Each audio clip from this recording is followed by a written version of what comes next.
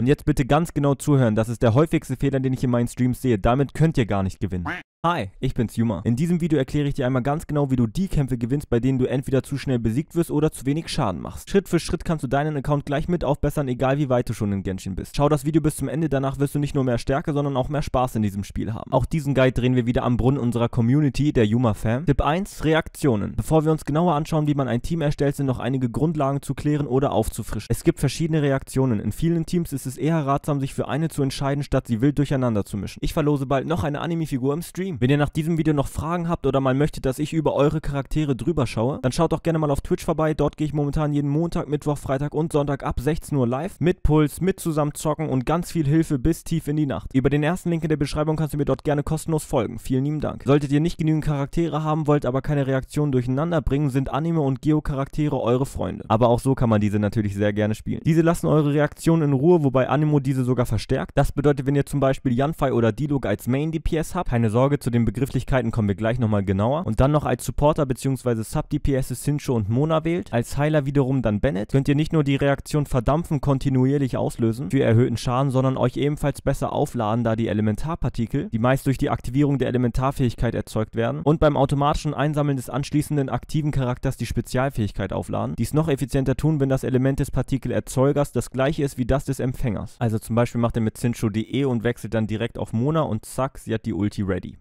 Zusätzlich dazu schaltet ihr noch Resonanzen frei, wenn ihr im Team mindestens zweimal das gleiche Element habt. Machen wir mit Resonanzen mal direkt weiter bei Tipp Nummer 2. Diese verstärken euch, ihr könnt euch diese mal durchlesen und dann überlegen, woran es euch gerade mangelt. Beispielsweise an Angriff, dann ist Pyro-Resonanz eure Rettung. Oder an Leben, dann greift nach der Hydro-Resonanz. Die Resonanz ist aber eher ein netter Bonuseffekt, also nichts, worum ihr euer Team zwingend bauen solltet. Zum Erkunden empfehle ich aber auf jeden Fall die Animo-Resonanz für mehr Ausdauer. Tipp 3. Wie baue ich ein Team? Ein Team besteht aus vier Charakteren. Ihr müsst jeden einzeln und vor allem passend bauen, da jeder etwas anderes benötigt. Um das Beste aus eurem Account rauszuholen, könnt ihr sehr gerne meinen Kanal kostenlos abonnieren. Neben solchen allgemeineren Videos mache ich auch Guides zu jedem Charakter einzeln. Darin erkläre ich dann, wie man welchen Charakter genau spielt und baut. Die Playlist zu den Guides habe ich euch mal in der Videobeschreibung verlinkt. Danke für euer Abo. Also, ihr solltet festlegen, welcher Charakter euer Main DPS ist, also euer Hauptschadensverursacher. Hier eine kleine Eselsbrücke dazu, wenn ihr euch noch komplett unsicher seid, was das ist. Wenn euer Charakter auch nach der E und Q noch guten Schaden mit normalen Angriffen macht, da diese meist durch seine Fähigkeiten verstärkt werden, ist es ein Main DPS. Dazu zählen Standardangriffe wie bei Yoimiya, heftige Schläge wie bei Tinari, Schläge aus dem Fall wie bei Zhao, aber auch schnelle Schläge durch die E wie bei Ayato. Er bleibt also länger auf dem Feld, um Schaden zu verursachen und deswegen ist er ein Main DPS. Bedenkt bitte, dass das nur ganz vereinfacht gesagt wurde. Es trifft also nicht auf jeden zu, es gibt immer Ausnahmen. Wenn ihr euren Main DPS habt, in diesem Fall jetzt Ayaka, solltet ihr euch nach passenden Supportern bzw. Sub-DPSen umsehen. Also Charaktere, die für unterstützenden Schaden sorgen. Sincho oder Kier zum Beispiel sind normalerweise eher dafür gedacht, die E und die Q zu aktivieren und danach sofort ausgewechselt zu werden, da sie anschließend kaum noch Schaden machen und ihre Fähigkeiten trotz Auswechselns auf dem Feld bleiben. Beispielsweise passen zu Cryo-Charakteren oftmals Hydrochars zum Einfrieren oder Pyrochars für erhöhten Reaktionsschaden, also beispielsweise Ganyo mit Zhang Ling oder Ayaka mit Mona. Dann entweder noch einen weiteren Supporter bzw. Sub-DPS, vorzugsweise von einem bereits vorhandenen Element, einfach aus dem Grund, dass ihr die Reaktion Einfrieren, in diesem Fall jetzt beispielsweise mit Zhang Ling komplett zerstören würdet, oder einem Animo-Supporter wie zum Beispiel Sucrose, aber auch Kasua oder Venti, die euren Reaktionsschaden im erstgenannten Team verstärken, oder die Gegner zum Masseneinfrieren im zweiten Team mit ihren Fähigkeiten zusammenziehen. Wenn ihr das habt, fehlt euch nur noch ein Heiler und oder Schilderzeuger, wie beispielsweise Barbara oder Noel. Am wichtigsten ist es, dass ihr eure Heilung oder euer Schild immer möglichst schnell aufgeladen bekommt, sollte dies eure Spezialfähigkeit sein. Da hilft es euch, euren Aufladeratewert zu erhöhen mittels Artefakten und Waffen und am besten passt euer defensiver Char auch super ins Team. Bei Ganyo mit Zhang Ling und Sucrose wäre es zum Beispiel Bennett, da er heilt, den Angriff erhöht, Pyro-Resonanz von Zhang Ling aktiviert und die Q von Zhang Ling, die echt viel an Aufladung bedarf, besser vollkriegt. Bei Ayaka mit Mona wäre zum Beispiel Diona top, da sie schildet, heilt, die Kryo-Resonanz mit Ayaka erzeugt, zu einem permanenten Einfrieren beisteuern kann und Ayakas Spezialfähigkeit super auflädt. Und legt euch relativ zeitnah erstmal auf ein Team fest, also auf vier Charaktere, die sich gut zusammen spielen lassen und bringt diese erstmal voran. Es bringt nichts, vor allem am Anfang viele halbgebaute Charaktere zu haben und damit nicht durchs Spiel zu kommen. Später, vor allem ab Ebene 5 im gewundenen Abgrund, aber auch so könnt und solltet ihr sogar mehr Charaktere bauen. Tipp Nummer 4, Waffen. Diese könnt ihr nicht nur mit Gebeten ziehen, sondern auch durch das daraus erhaltene Sternglanz kaufen. Aber nur diese Schwarzsteinwaffen im anderen Monat sind nicht so gute Waffen. Die wechseln sich monatlich ab. Dann könnt könnt ihr sie und ihre Verfeinerungsgrade schmieden lassen. Für einige Charaktere habt ihr hier sogar perfekte Optionen. Und manche Events gönnen Waffen, die eher als Notlösung gedacht sind, andere hingegen richtige Schätze. Ansonsten gibt es auch tolle 3-Sterne-Waffen, an die kommt jeder nach ein paar Puls. Bei Schwertern zum Beispiel das Schwert der Dämmerung und bei Katalysatoren Drachenbezwinger. Verstärkt sie aber unbedingt mit gezogenen Kopien, damit diese auf jeden Fall noch stärker werden. Normalerweise achtet ihr bei der Waffe vor allem auf den Subset, also hier wäre das zum Beispiel LP und ob ihr diesen benötigt. Bei der Waffe hingegen ist der Effekt eher das Starke. Machen wir weiter mit Tipp Nummer 5, Artefakte. Diese solltet ihr erst ab Abenteuerrang 45 farmen, weil ihr erst dann verlässlich 5 Sterne Artefakte farmen könnt. Dennoch könnt ihr, nicht nur ab dann, sondern auch schon davor, darauf achten, was ihr euren Charakteren da gebt. Jeder benötigt etwas anderes. Bei den allermeisten Main- und Sub-DPSen sind es zum Beispiel die Werte kritischer Treffer, kritischer Schaden und prozentual Angriff. Die meisten defensiven Chars spielen hingegen mehr auf Aufladerate und dann Verteidigung oder LP. Lest euch im Zweifelsfall einfach genau nochmal die Talente durch. Da steht meistens genau drin, was für Werte sie brauchen. Wichtig zu wissen ist, dass Stats for Sets gilt. Also die einzelnen Werte eurer Artefakte sind wichtiger als die Effekte, die ihr freischaltet, wenn ihr zwei oder vier verschiedene Artefakte vom gleichen Set spielt. Im besten Fall erreicht ihr aber beides. Das, woran es den meisten Spielern mangelt, die noch nicht so lange Genshin spielen, ist A, der Aufladeratewert. Wenn man seine Spezialfähigkeit kaum aufgeladen kriegt, wird nicht nur euer Spielspaß, sondern auch euer Fortschritt zurückgehalten. Ich konzentriere mich bei meinem Zhao mehr auf Schaden und diesen geringen Aufladeratewert gleicht dann beispielsweise eine Sucrose aus, die so viele Animo-Elementarpartikel aufs Feld bringt, dass seine Spezialfähigkeit trotzdem die ganze Zeit aufgeladen wird. Und B, ein zu geringer kritischer Trefferwert. Dieser sollte bei den meisten Schadensverursachern ungefähr bei 65% liegen. Habt ihr das nicht, ist das nicht weiter schlimm, aber ihr könnt ja darauf hinarbeiten. Tipp Nummer 6, Essen. Viele vergessen Nahrung zu sich zu nehmen, obwohl ihr damit einen Kampf selbstbewusster beginnen könnt. Die Rezepte dafür könnt ihr entweder bei Anbietern wie zum Beispiel Sara in Mondstadt kaufen, aber auch durch Weltenaufträge und sogar Sphären bekommen. Und auch wenn ihr das hier eher am Alchemietisch macht, ist es dennoch Öle und deswegen passend. Und zwar könnt ihr euch diese Öle herstellen. Diese verstärken dann euren Elementarschaden. Ihr könntet vor dem Kampf also durch Essen zum Beispiel euren Schaden, eure Verteidigung und eure Ausdauer erhöhen. An diesen kleinen Symbolen oben links erkennt ihr immer, was das genau tut. Und am besten holt ihr euch den praktischen Nahrungsbeutel. Dann könnt ihr ganz einfach während des Kampfes euch heilen, indem ihr eine Taste drückt und müsst nicht ständig in euer Inventar wechseln. Vor allem im Koop, wo ihr nicht pausieren könnt, ist das auf jeden Fall sehr nützlich. Dafür benötigt ihr die fünfte Ansehensstufe in Mondstadt. Dafür einfach wöchentlich die Aufträge bei Hertha abschließen. Kommen wir jetzt zu Tipp Nummer 7. Fehler erkennen und vermeiden. Wenn ihr nicht gut vorankommt, fragt euch, woran hat's gelegen.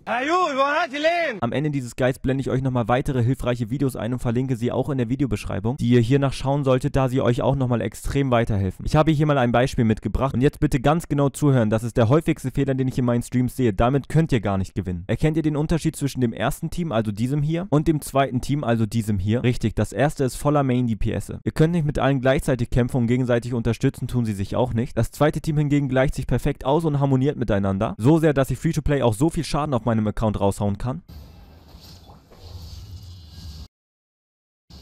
Und daran schaffen wir es gemeinsam bei euch auch. Ich finde es aber gut, dass ihr fragt, jeder braucht mal Hilfe in etwas. Dafür sind wir als Community, als Yuma-Fam auf jeden Fall da. Wenn ihr also individuelle Tipps für euren Account haben wollt, also wie ihr bei euch das Beste rausholen könnt, denn das hängt von vielen Faktoren ab, wie zum Beispiel welche Artefakte ihr gerade da habt oder ob ihr das Schlüsselsternbild eines Charakters schon freigeschaltet habt, dann kommt wie gesagt sehr gerne auf Twitch vorbei. Da kann ich euch sagen, wie ihr was machen müsst, um mit euren momentanen Möglichkeiten das absolute Maximum von eurem Account rauszuholen. Erster Link dazu wie gesagt in der Videobeschreibung. Danke für die Follows auf Twitch und die Abos plus Kanalmitgliedschaften auf YouTube. Euer euer Juma.